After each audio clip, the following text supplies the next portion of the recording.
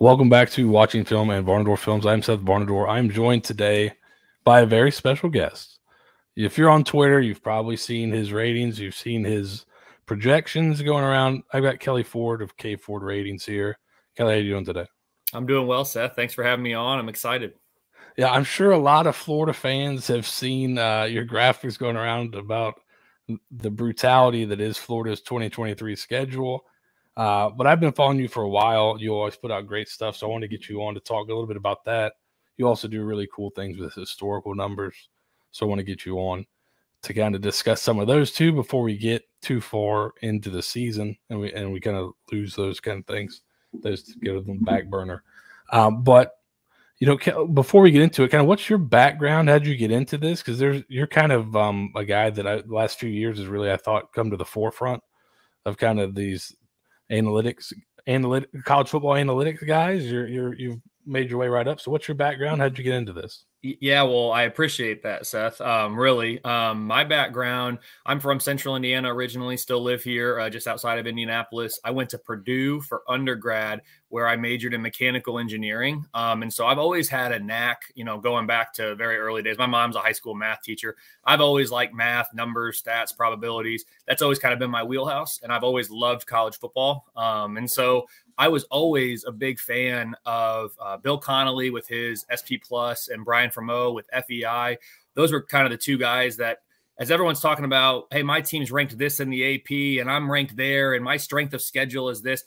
I, I, wasn't really engaging in those conversations. I was more looking, well, what are the predictive analytics think about these teams as we're trying to figure out who are the, the quote best teams in college football year in and year out.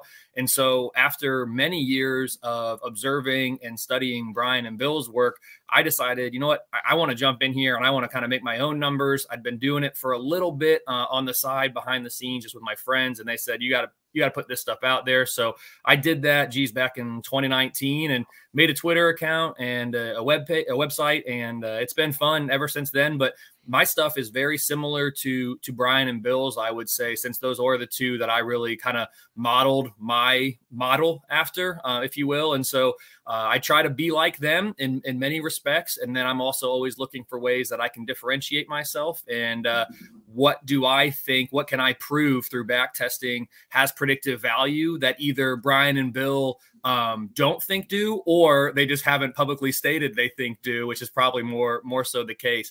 Um, but yeah, that's that's how I got started and why I got started. I love college football and uh, always love the numbers. So mash those two together, and here we are with the K Ford ratings.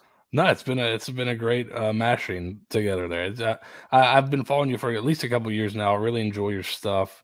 Um, but uh, it kind of just going through the preseason prep and things, some things that you've put out caught my eye. Uh, one was uh, Florida, the difficulty of Florida schedule. You've got them ranked. There's been a bunch of different uh, kind of power rankings and strength of schedule rankings going around, but you've got them with the number one hardest schedule in the country. Um, and and uh, I'll I'll pull that up here in a second. Uh, but I, I also saw you say kind of that you're you're you're a guy that believes in Billy Napier. You think he's a good coach, uh, but he's being dealt a pretty tough hand this year. So um, what are your thoughts on Napier, kind of as a kind of an outside observer, kind of where he's come from? Where do you think he's headed with the Florida program? Yeah, uh, I am a big fan of Billy Napier. I said that when I, I tweeted some things about Florida and with the projected win totals this year, which I know we'll get into, you know, 6.1 wins on average is what I have. And Florida fans might think, well, we had six last year. Is that even an improvement? I do think this team is is better from a power rating standpoint coming into this year than they were last year in year one under Napier.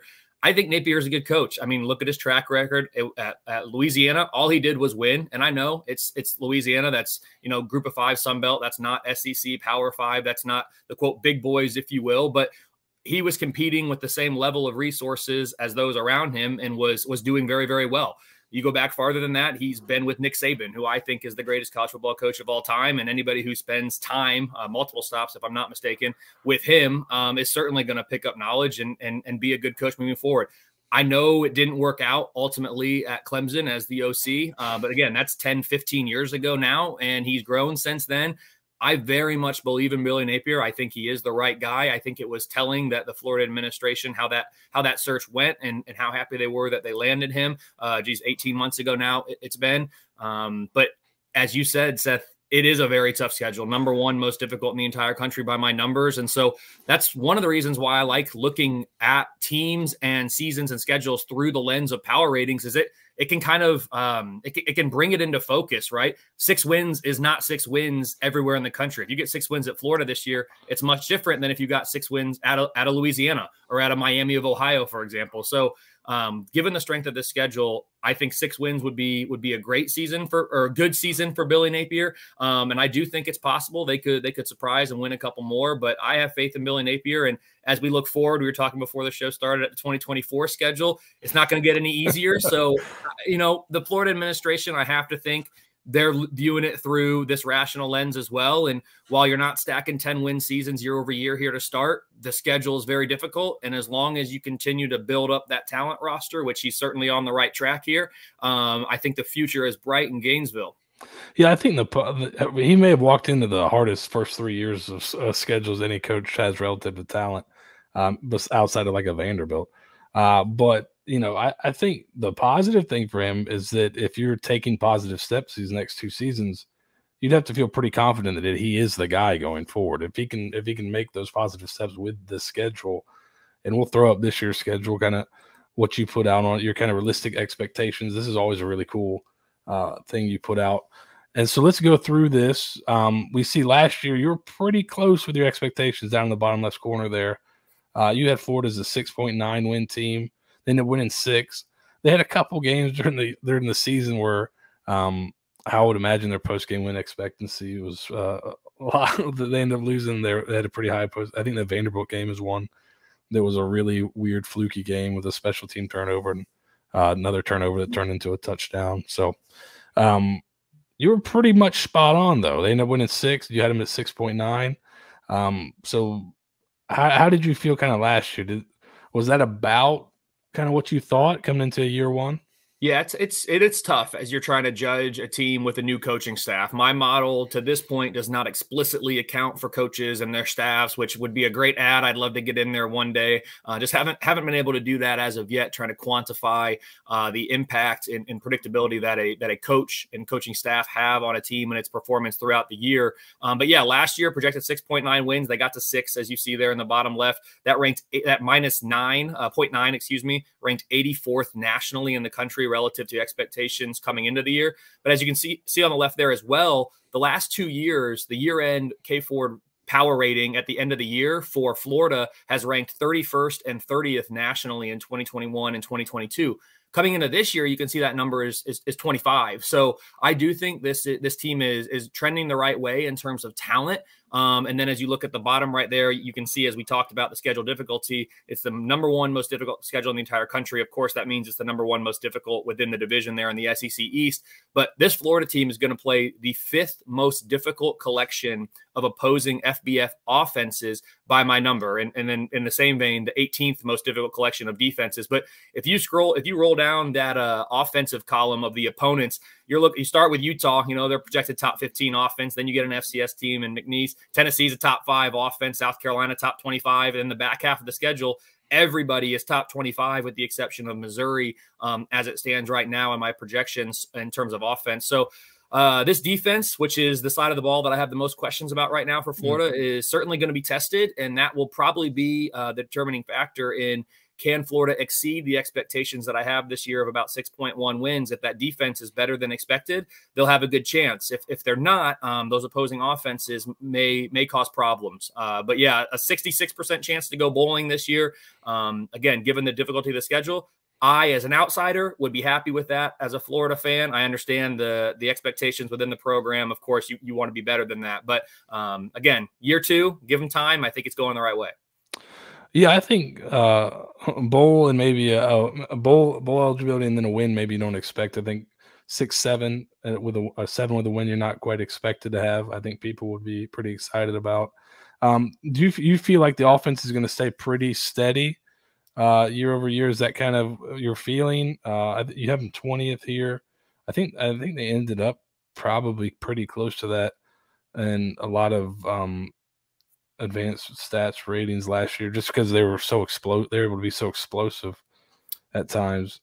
They, um, they, they, cer- they, certainly were last year, and, and yeah. So for me, Seth, when it comes into the the preseason ratings, much like Bill Connolly at SP Plus, I'm looking at three main things. It's returning production, which Florida uh, grades out pretty poorly, um, especially relative to to some other big players in the SEC and nationally. Lost a lot of production from last year, mm. but um, that's not the end of the world for a program that recruits at the level that Florida does, and then also that has the recent K Ford rating history that Florida does as well. Uh, Florida ranks 17th in um, average K Ford rating over the last four years, weighted with the most recent year most heavily, and they ranked 13th in my most in my recent recruiting uh, component of the preseason rating. So the offensive side of the ball, of course, there was some production loss, most notably, you know, Anthony Richardson coming to my Indianapolis Colts. Oh, actually, curious to see how that goes uh, and how it translates into the NFL. But I still, given the way that this team has has recruited and replaced talent, um, and also just the history that they have, this is a team that yes, there are going to be questions, and I think I'm maybe a little bit higher on Florida than than some other power ratings, and certainly the polls out there. People are saying there's no way Florida should be anywhere near a top 25 poll, and I'm like, well, this isn't a poll first first off, yeah. but putting that point aside, from a power rating standpoint, I don't expect Florida to be ranked in the top 25 at the end of the year because their schedule won't be that of what a, of a human poll top 25 look team looks like. But from a power rating standpoint, I absolutely believe this team can hang around the top 25, top 30 throughout the year, even as they go through the gauntlet of the schedule. So there are question marks on both sides of the ball, to be honest. Um, but I still think there's enough there that this team, uh, from a power rating standpoint, is is in the right ballpark. Yeah, what do you think? Uh, you know, what what are some games that are kind of swing games that kind of people should be kind of watching out for? Maybe if if they could sneak this one, um, that would kind of go a long way to exceeding expectations, or, or ones that maybe, uh, you know, or, or there's a couple that are pretty close to a coin flip in here. Uh, would those be one, would those be ones to watch? That if you lose that one, uh, maybe you you don't hit those expectations you've got. Yeah, for sure. I mean, as I'm looking at swing games, I'm looking really at anything within a touchdown. Really, um, even that opening game at Utah. The reason that I that I think that game might be okay for Florida, actually, I like it better in Week One than I would any other week of the season because Florida's going to have all off season to be preparing for Utah. Now, Utah has it too, of course, but when you're the underdog and you've got more time, the, the longer you have to prepare, the better for the underdog. And so for Florida, if they can somehow, you know, spring an upset, you know, in Salt Lake in Week One, that'd be a big upset. Um, I tell you, be, Florida will be number one on my most deserving rankings uh, after week one. I can tell you that uh, if they're able to beat Utah there. Um, but that game aside, because I, I, don't really consider that one quite a swing game. Even Tennessee at five and a half, the spread will likely be larger than that. Given you know Vegas is trying to balance the money, they're not necessarily yeah. trying to exactly get it. What is the projected spread between these teams once home field's accounted for? They're trying to balance the the money that's coming in, so that spread will probably be a little higher. For swing games, I'm looking at Kentucky. So currently a two point underdog by my numbers. Can Florida go out and win that game? South Carolina's a pick 'em game by my numbers. A lot of people are going to like South Carolina in that game, especially by the fact that it's at South Carolina. If that's a night game, that's bad for Florida. Um, going into that stadium at night is not easy. Um, coming off the bye, then you get Georgia. You know, if Florida wins that game, everything give give Napier the extension right then and there. I'd say they start. Um, they might start building the statue. Yeah, yeah that, that's an unlikely one. Uh, gonna have to get Arkansas. My numbers like that by three and a half. So you, you don't want to be on the wrong. You don't want to flip the wrong way there. Um, and then even the last two games, you know, at Missouri is a pick 'em, and then a lot of people really like Florida State this year. And, and admittedly, my numbers like Florida State more and more with every single update that I do of the numbers. They're up to number 10 now in my preseason power ratings. Um, but that is a game, it's in the swamp. That is a game where if Florida's season hasn't gotten off the rails, if, if this is still a team that is bought in, committed, and I have no reason to believe that they won't become that time. Um, who knows how Florida State season's going? They got a cu- couple tough games to open the year in their first four weeks. They've got two really tough ones If they drop those, things could spiral. And so um, that game right now is plus six for Florida. Who knows, though? That could be a game that the Gators end up getting at the end. But any game that's projected within a touchdown, those are the ones. If you win more than not, you're you're gonna have a good chance to to meet or exceed your expectations. If you lose more than not, that's that's how you can end up on the wrong side of that at the end of the year. Yeah, and there's like as we just went through, there's quite a few of those on on the board there. So, um, speaking of Florida State, we I, I, I talked to you briefly beforehand. Um, one thing I wanted to look at, and now Florida State, I think is, uh, as you mentioned, has gotten even higher up. I think at one point Florida and Florida State were a little bit closer in your power ratings, uh, maybe a few weeks back. Um, and it got me to thinking, what would the what would the preseason expectations look like if both those teams just switch schedules? So, how much of expectation is based purely on kind of uh, the difficulty of the schedule? So, um, I know I think you ran some on that. What what what did you find kind of if if we were able to do that? Yep, absolutely. So if Florida State played Florida's schedule, right now I'm projecting uh, for Florida 6.1 wins against their schedule, as we just said. If Florida State played Florida's schedule, I'd be projecting 8.1 wins for the Seminoles. So really, it's about a two game difference. Florida State's about two games better against Florida's schedule than Florida is, is how my numbers are viewing it right now. Um, and then conversely, if we flipped that, if we looked at the uh, Florida State schedule and said, what if Florida got to play it? So, Florida State, I'm currently projecting 9.4 wins for Florida State against their schedule. If Florida was playing Florida State's schedule instead of their own, I'd be projecting 7.5 wins. So, again, that's you know 1.9, two games different. So, either way you slice it, Florida State's looking about two games better than Florida this year. You are right, Seth. In my most recent updates, if I remember correctly, I had Florida State number 14 and I had Florida number 18 actually. Those yeah. two teams are some they were some of my biggest risers and fallers actually, funny enough. In my most recent update, Florida State up to number 10 and, and Florida down to number 25 the margins are not, they're like wow that's a long way to fall. What changed? The margins are not very big between those. As we saw florida state's number 10 florida's number 25 that spread granted it's at florida is only six points. So there's a lot of teams. Once you get away from you know the first couple teams the top couple teams college football they start stacking up really yeah. quickly. Um, but either way if you flip the schedules here Florida State coming out about two games better than Florida. But again, if you're Florida, you're thinking, okay, if we have this exact same team but we're playing Florida State schedule instead of ours. Instead of 6.1 wins, now we're looking at 7.5 wins. Yeah. now you're thinking about the season a whole lot differently because you're looking at maybe an eight and four a year as opposed to six and six. Yeah. So that's that's just another way to frame the difficulty of the schedule and the impact that it then has on your record. So we have to keep that in mind when we're judging coaches on on the record that they have uh, they're not in a vacuum. These schedules are serious, especially in college football, where there's such a vast disparity between the most difficult and the easiest. Yeah, I, and and you have something else. Um, you know, just speaking to the difficulty of Florida schedule. Uh, let me see if I can pull that up here because it does a really good job of kind of. I think you put this out earlier today. Uh, no, not that one. Um, just in terms of your the, your average top twenty five team, what what they're uh, and Florida State's obviously an above average team, so you have them. You had them at uh, over eight wins with the schedule, but Yep. So, so on, on, my on my website, Seth, as, as you're looking for it there, um, you can see, and yeah, here it is from the from the Twitter posting. Again, you can find these on my website, kfordratings.com. Yeah, uh, every, check that, every, guys. Check that site out. It's it, chock full of uh, fun information. It, it's uh, I, I thought, you know what, I'm, I have this website, but I don't really use it for anything except during the season. I post the updated stuff. I was like, people are always asking for certain things.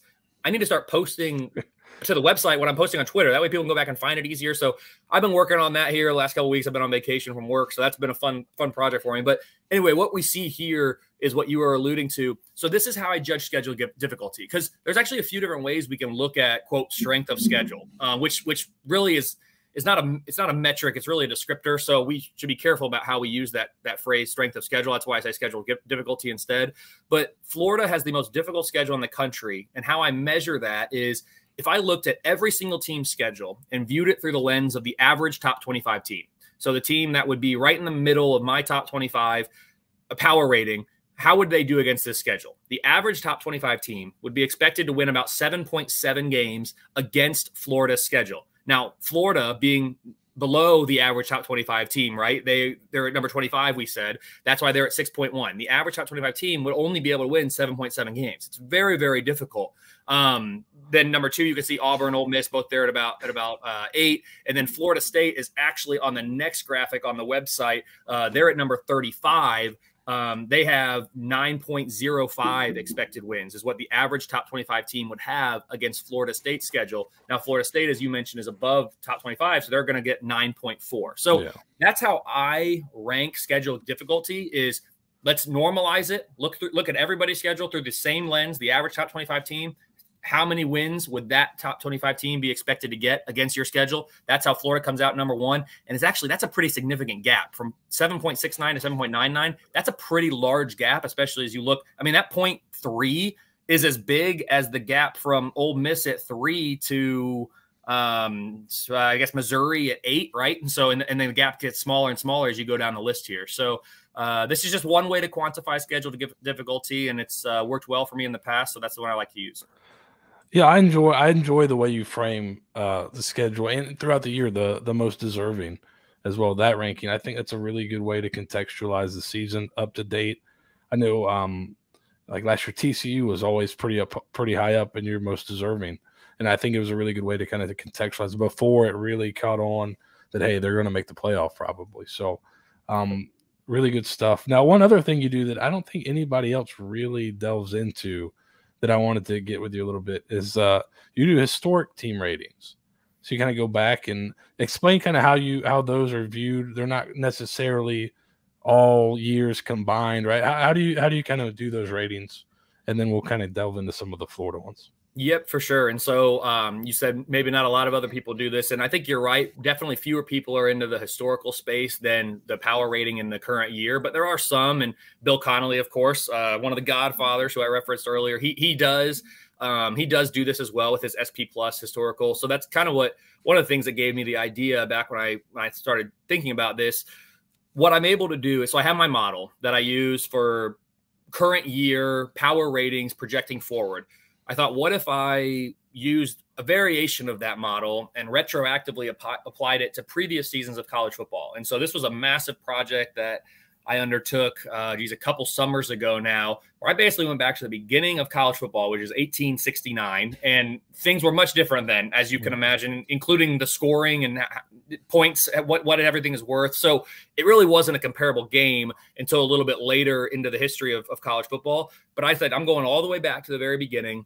I'm going to apply a uh, skeleton variation of the model. It's kind of a, it's really a points per game, really, because you're not able to get the stats that I need, the inputs that I need for my model in today's college football are not available, at least publicly to me, anywhere that I know on the internet to be able to um, apply the current version of the model to historical seasons. So um, it's a it's a rough estimate where I'm able to generate a power rating, an estimated power rating for every single college football team that's ever played the sport. And so I can look back and see in the 1996 season who was the best team and by how much in the 1936 season who was the best team and by how much. And so I'm able to then take that raw power rating and generate it into the zero to 100 scale that I use today um, for teams, and we can kind of stack teams up within a given season.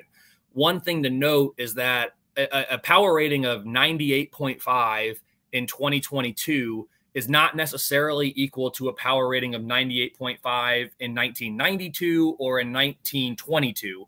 It, it's you're basically that's a percentile rank within any given year. So if you have a power rating of 98.5 in 1992, you were in the 98.5 percentile of all college football teams playing at the highest level of college football in 1992. So that's just some important context to consider. But it's been a really fun project. I, I did a revision to it here this summer that I just wrapped up uh, about a week or so ago. And um, again, I've made some tweaks to my model. And so I was able to find some ways that I think I can better approximate historical team strength going back to previous seasons.